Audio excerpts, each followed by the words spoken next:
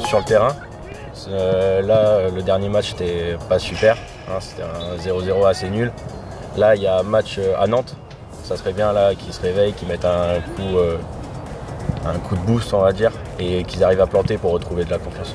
Je pense que s'ils s'accrochent avec une bonne mentalité, il y a encore moyen d'attraper l'Europe, mais tous ensemble. déjà qu'ils se réveillent sur le terrain, et qu'ils préparent au mieux la, saison prochaine parce que cette saison, honnêtement, je trouve qu'ils avaient un bon groupe quand même avec un bon potentiel.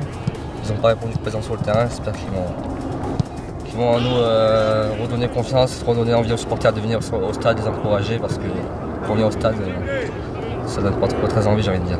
Au niveau du jeu, plus d'implication, on dirait que les joueurs n'ont pas envie offensivement.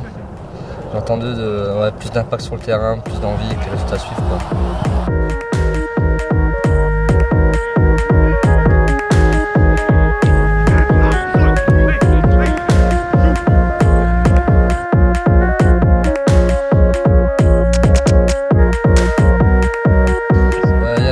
C'est un joueur que j'aime bien, que j'apprécie. Je trouve qu'il a un bon potentiel, ça se voit.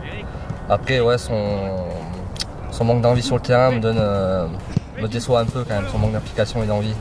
Après, s'il se réveille et qu'il montre euh, son potentiel, euh, j'aimerais bien le, garder. Il faut voir si sa mentalité va changer, si les résultats vont suivre. Là, il a eu une petite méforme sur le match faut voir, faut que les résultats reviennent avec euh, des bonnes performances collectives comme individuelles. Donc euh, à voir à la fin de la saison ce que ça peut donner.